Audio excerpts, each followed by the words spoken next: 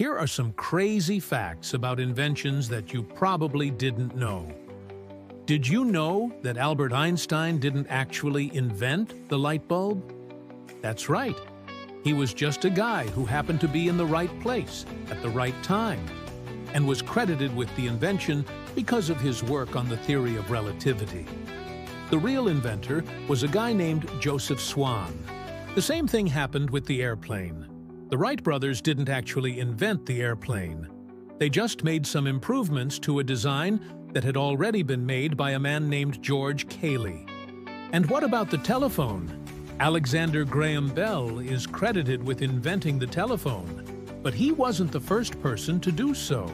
A man named Antonio Meucci had invented the telephone seven years before Bell, but he never patented it, so Bell got the credit instead. And finally, what about the computer?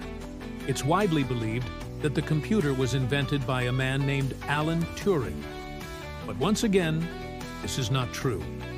Turing was a brilliant mathematician and computer scientist who laid the foundation for modern computers, but he did not actually build the first computer. That honor goes to a man named Charles Babbage. So there you have it, four inventions that were not credited to the right people. If you want to learn more about these amazing inventors and their inventions, stay tuned for more videos.